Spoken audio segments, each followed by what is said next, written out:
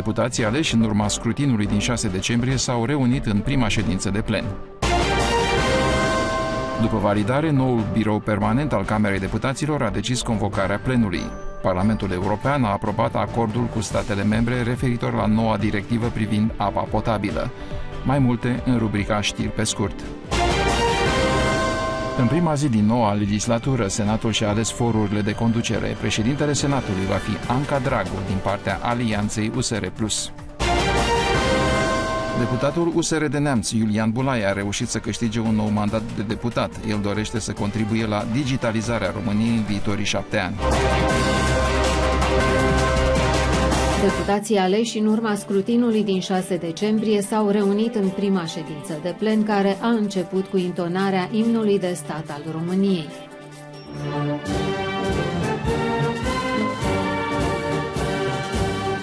Potrivit regulamentului Parlamentului, prima ședință a Camerei Deputaților dintr-o nouă legislatură este condusă de cel mai în vârstă deputat, asistat de cei mai tineri deputați în calitate de secretari. Doamnelor și domnilor deputați, în continuare vă propun să păstrăm un moment de reculegere în memoria martirilor Revoluției Române din decembrie 1989. În conformitate cu prevederile regulamentare, în această primă ședință a Camerei Deputaților, în cea de-a noua legislatură, urmează să fie aleasă Comisia de Validare a Mandatelor de Deputat. Numărul deputaților care vor fi desemnați în Comisia de Validare de către fiecare grup parlamentar se stabilește potrivit prevederilor articolului 4 din regulament, în funcție de proporția membrilor în numărul total al deputaților. Având în vedere rezultatele alegerilor din 6 decembrie 2020, voi prezenta numărul membrilor pentru fiecare grup parlamentar ce se constituie în condițiile regulamentare ponderea numărul total al deputaților, precum și numărul de locuri ce îi revine în Comisia de Validare. 1. Grupul parlamentar al PSD are 110 membri. Ponderea din totalul de 330 deputați este de 33,33%,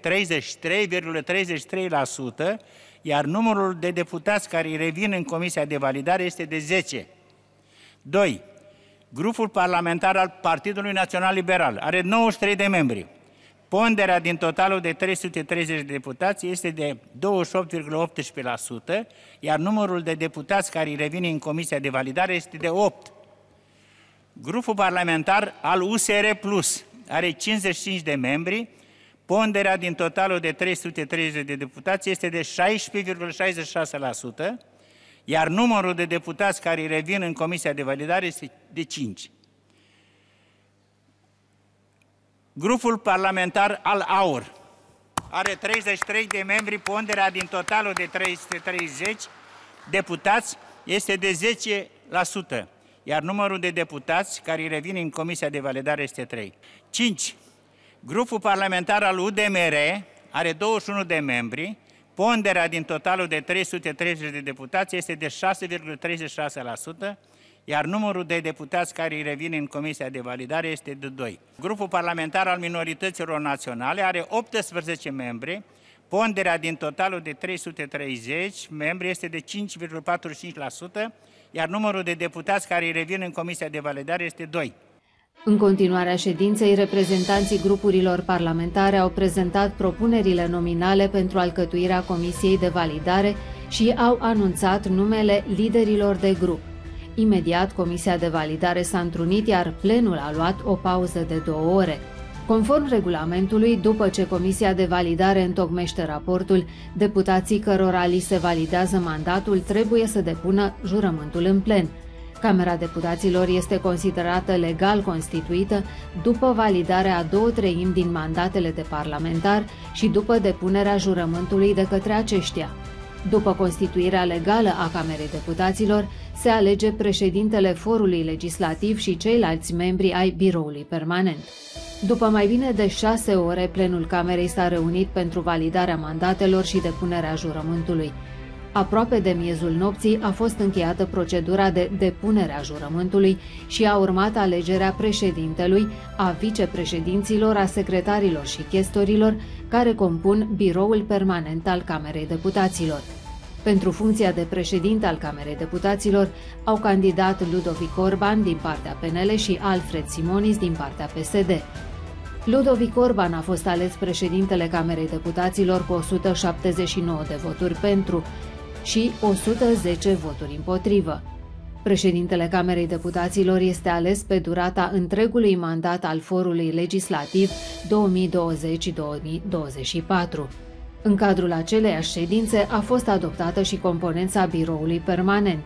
Membrii biroului permanent sunt însă aleși la începutul fiecărei sesiuni ordinare. Premierul desemnat Florin Câțu a prezentat lista noului cabinet și programul de guvernare.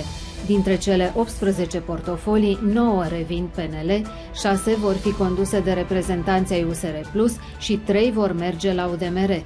După audierile din comisiile de specialitate și validarea în plenul reunit al celor două camere, miniștrii cabinetului Câțu se pot apuca de treabă.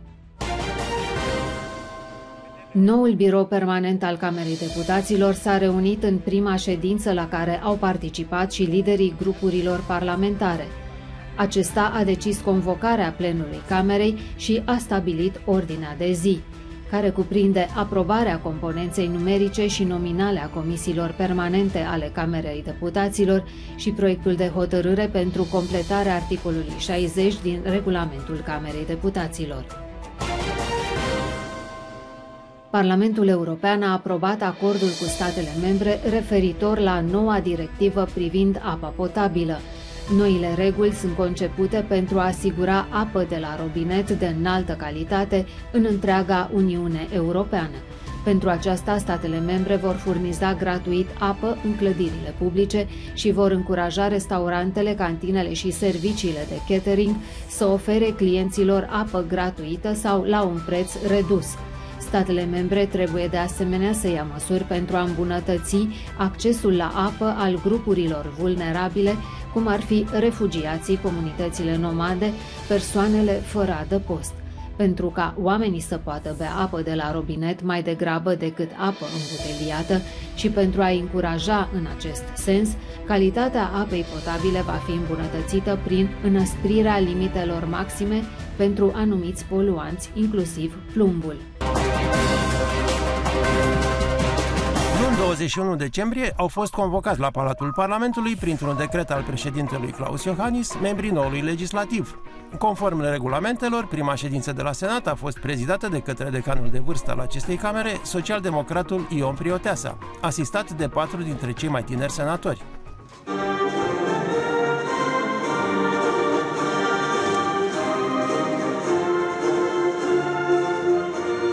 Președintele de ședință a atras atenția senatorilor asupra obligației de a purta mască și a coborât la tribună pentru a transmite noilor colegi cuvântarea sa de deschidere. Deschidem o legislatură care, în mod evident, are particularitățile sale, din cel puțin două considerente majore.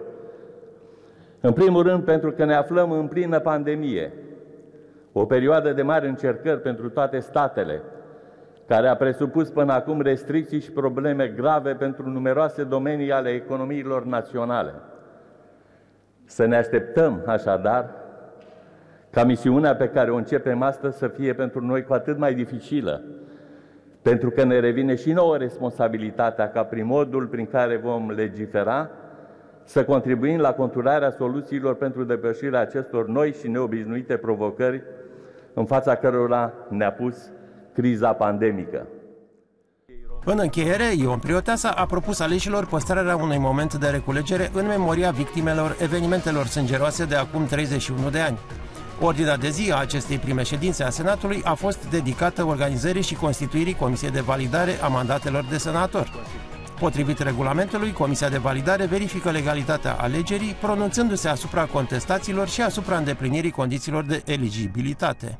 Conform prevederilor articolului 5 din regulamentul Senatului, pentru validarea mandatelor de senator, Senatul alege în prima sa ședință o comisie compusă din 15 senatori. În felul acesta, PSD propune 5 senatori,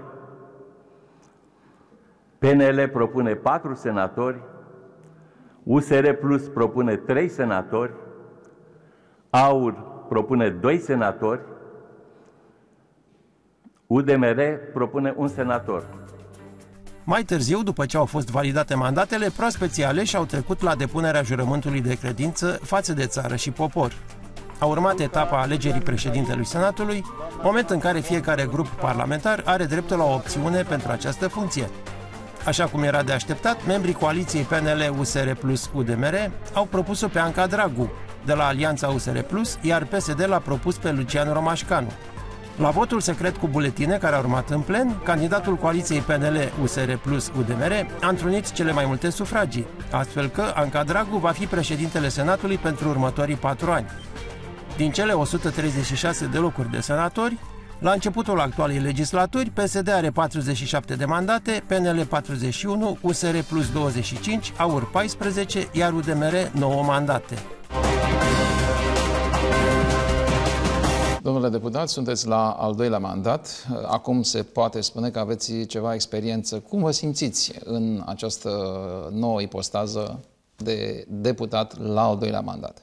Mă simt emoționat, plin de responsabilitate și conștientizând și mai mult rolul nostru de a conduce acum o instituție, de a forma un guvern împreună cu partenerii noștri de coaliție și de a guverna țara. Este o responsabilitate mult mai mare decât a face opoziție de la 8,9%. Ce obiective specifice aveți uh, în acest mandat?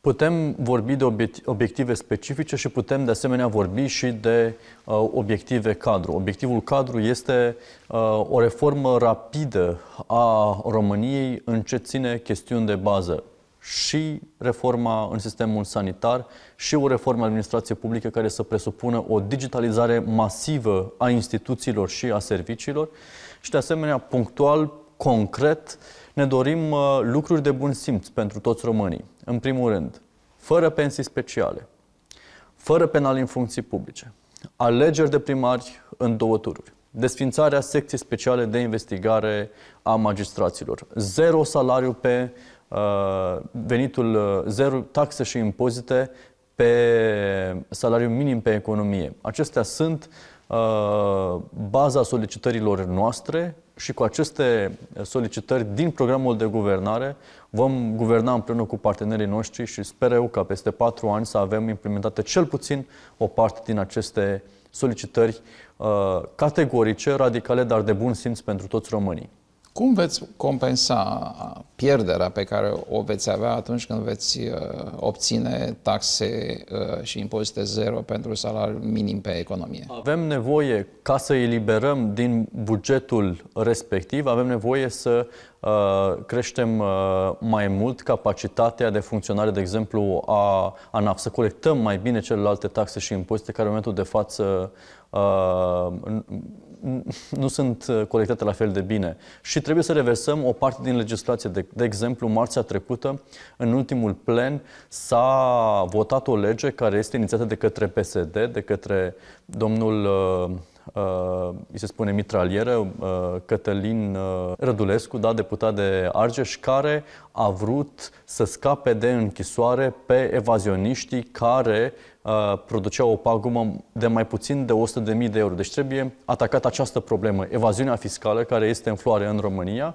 pentru a putea compensa cu această uh, măsură fiscală care va face ca mai mulți români care lucrează acum pe salariu minim pe economie, să primească acești bani în mână, să nu li se mai oprească uh, și să li se impoziteze așa de multe taxe și impozite ca în momentul de față. În problema pensiilor speciale, acolo, după cum știți foarte bine, situația este mai complicată pentru că nu depinde doar de Parlament. Cum uh, veți aborda condiționarea care este externă Parlamentului? Este o condiționare care în momentul de față este negociată împreună cu partenerii cu care vom forma această coaliție de guvernare, se discută în momentul de față și trebuie să ajungem la o concluzie asumată și de reforme uh, care vin din partea guvernului și din partea uh, ministerilor pe care le vom conduce acolo împreună cu coaliția cu care acum suntem în uh, dialog. În acest moment ne aflăm în plin război, în pandemie. Cum uh, veți aborda această situație? Pentru că uh, urmează un test extrem de important și cu foarte multe sensibilități. Vaccinarea populației. Noi, în cadrul negocierilor de formare a noului guvern, am solicitat explicit ca Ministerul Sănătății să revină USR+. Avem oameni competenți care pot ocupa acest portofoliu și care pot gestiona bine o campanie de vaccinare la nivel național, care trebuie să fie coordonată cu celelalte campanii de la nivelul Uniunii Europene. Nu este întâmplător faptul că suntem în Uniunea Europeană și că tendința este de sincronizare totală în eradicarea acestei pandemii. De aceea, împreună, toate statele membre din Uniunea Europeană vor începe campania de vaccinare a populației simultan în toate țările după 27 decembrie. Am uh, citit mai multe analize economice care uh, unele sunt uh, de-a dreptul alarmiste și spun că urmează o criză economică care va fi poate chiar mai gravă decât cea care a fost cu puțin timp în urmă. Sunteți pregătiți pentru a face față unei astfel de situații? Am început această perioadă de pregătire pentru această eventuală criză prin a extinde portofoliul Ministerului Economiei și cu două elemente esențiale în gestionarea crizei. Unu, antreprenoriatul. Trebuie să investim cât mai mult, cât mai multe resurse în a permite redeschiderea cât mai multor afaceri care au fost afectate în momentul de față, pentru că antreprenoriatul este motorul economiei și, de asemenea, următorul uh, element care va intra în componența Ministerului Economiei este turismul. România a suferit foarte mult în uh, ultimele 8-9 luni din cauza închiderii Horeca, cafenele, restaurante, hoteluri. Toate aceste elemente importante din economie sunt acum afectate. Unele funcționează șchiopătând, ca de exemplu restaurantele și cafenele. Acum se, poate, se pot folosi hotelurile. O bună perioadă nu au putut fi folosite, de exemplu, în uh, perioada stării de urgență. Comasând toate aceste elemente, economie, ca un cadru general, antreprenoriat și turism, care include Horeca, ar trebui să ajute foarte mult la a depăși cu resursele pe care le avem perioada următoare de criză care probabil că uh, va ajunge și în România. Cum veți aborda problema agriculturii, care va deveni extrem de importantă în următorii ani? USR Plus va primi portofoliul uh, Ministerului Fondurilor Europene, care va include și acest program național de recuperare și reziliență. Ministrul USR Plus va trebui să uh, Uh, aibă o aplicare directă către fermieri și să includă în viitoarele negocieri și fonduri pentru susținerea agriculturii. Știți care este problema care nu se vede sau se vede, dar nu, nu se dorește a fi rezolvată? Agricultura este foarte fragmentată. Uh, proprietăți foarte mici care, evident, nu pot primi uh, fonduri europene la un nivel. Agricultura occidentală este cooperativizată. Aici a existat întotdeauna temerea că uh, o reunire a unor proprietăți va pune în pericol uh, însăși proprietatea.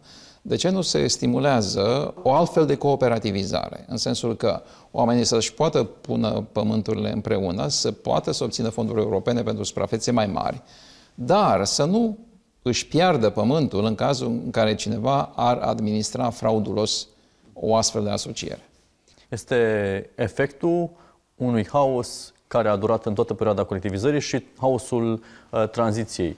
Că uh, până în anul 2000, după ce am avut, uh, înainte să avem legea lupului, era foarte greu să te asociezi. Gândiți-vă că în mentalul colectiv, uh, țăranului, fermierului, îi ia foarte mult timp să recâștige încrederea de a da pământul unei asociații care să îl uh, muncească corespunzător, dar și să simtă că primește ceva în schimb. Problema în România, în opinia mea, că vin de la țară, vin într-un județ foarte rural, sunt crescut în Tămășeni Neamț, este că se face foarte multă agricultură pe anumite uh, produse cu valoare adăugată foarte mică. Aceasta este o problemă. Uh, am cumpărat andive recent care veneau din Olanda Olanda, care este cea mai urbanizată țară din Uniunea Europeană, împreună cu Belgia, produce pere și andive. Noi, cu atâtea uh, sute de mii de hectare de pământ care ar fi disponibile pentru agricultură, producem prea multe cereale cu valoare adăugată foarte puțină și suntem prea puțin îndreptați spre produse uh, de nișă care costă mult mai mult pe piața internațională. Cred că ar trebui să intrăm mai mult acolo ca țară cu potențial agricol uriaș și să stimulăm țăranii să aibă culturi, să dezvolte culturi care au o valoare adăugată mult mai mare și care s-ar vinde mult mai bine uh, pe bani mult mai mulți în străinătate decât uh, uh, porumbul și grâul pe care uh, îl producem, dar îl vindem uh, la un preț foarte mic în afară. Domnule deputat, aveți o relație sentimentală foarte apropiată cu Norvegia. Mă refer la faptul că soția noastră este de origine din uh, Norvegia. Puteți face o comparație între sistemul economic politic din România și Norvegia, care, e adevărat, nu face parte din uh, Uniunea Europeană, dar este o țară extrem de uh, importantă în Europa. Noi suntem o democrație uh, de 30 de ani care își căpătează. Ei iau Constituție de la 1800 18 uh, și cu o continuitate în democrație întreruptă doar de 5 ani uh, perioada războiului uh, ocupația germană. Ocupația germană din 40 până în 45. Deci cumva este foarte greu să faci o comparație retrospectivă, pentru că punctul de plecare este diferit. Vorbim de aproape 200 de ani de continuitate în a construi un stat, o democrație, instituții și gestionarea resurselor, pe când la noi vorbim de o democrație foarte tânără, cu 45 din ultimii 70 de ani, uh, foarte tumultoși. Dar revenind la prezentarea status quo-ului, în momentul de față, în sondaje, partidul cel mai uh, popular în Norvegia este un partid țărănist. Este partidul țăranilor. Este partidul celor care susțin uh, micii antreprenori din agricultura norvegiană, adică producătorii de unt, lapte, uh, brânză și alte produse. Este un partid uh, eurosceptic, este un partid uh, de centru și vine în această scenă politică pe marginea unei uh, erodări atât a coaliției de centru-dreapta uh, formată din creștini-democrați, din conservatori și liberali, uh, cât și a socialdemocraților care au condus țara respectivă în ultimii 30 de ani și care au dus-o la un grad de dezvoltare a bunăstării foarte mare. Am citit, nu știu dacă este adevărat, noastră puteți să confirmați sau nu, uh, există acest fond național de care beneficiază practic fiecare norvegian. În principiu, da, în sensul că fiecare, dacă ai împărți, fiecare ar putea să aibă acțiune acolo, pentru că este un fond al, este un fond al poporului, este guvernamental, dar nu primește fiecare bani de acolo. Dar folosind acum, când locuiam acum în Norvegia, acum șapte ani, doar 3,5% din întreaga valoare a bugetului național provenea din fondul respectiv. Deci este o țară sustenabilă, dincolo de acest fond, care de care reprezintă un capital uriaș și el crește atât prin extracție cât și prin investițiile făcute în întreaga lume din capitalul uh, acestui fond. Modelul de concesiune ar putea fi uh, pentru noi o sursă de inspirație? Da, este. Și o să vă spun de ce. Pentru că un stat niciodată nu o să-și permite tehnologia pe care și-o permite un investitor și un exploatator privat de a extrage resurse. Și din ce știu eu, modelul este în felul următor. Dacă o companie concesionează un spațiu de exploatare și găsește petrol, 80% din valoare merge spre bugetul statului, 20% rămâne companiei. Dar dacă compania respectivă face investiția, face forajele și nu găsește petrol, statul îi compensează cu 80% din investiție.